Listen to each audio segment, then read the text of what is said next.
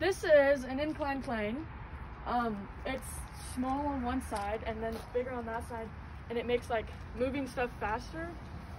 So if it wasn't there, I guess I'd have to like do something crazy to get up there. I guess. Basically, lift. Oh, no. All right.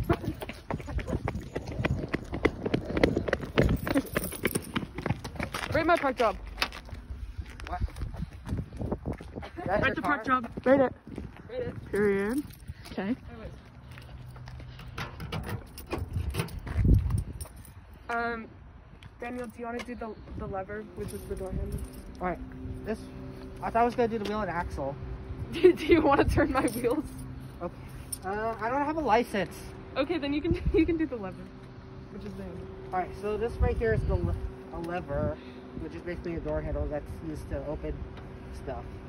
Will open things. Without it, we'll have to get it get it out the old fashioned Busted like busted it open. Something like busted it open. And here's how it works. Alright.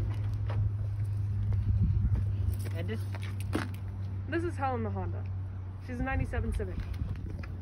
and now here here's how the wheel and axle works. right here's the wheel. Right here is basically the tire of the wheel.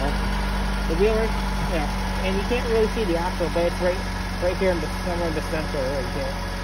Well, right here. And turn it. See? And you can also turn it. Well, there's also an axle on the other side too. Right here too, but you'll, too. But you'll have to like I don't research search on that on what cars look in the inside. And without the wheel and axle, we won't be able to travel.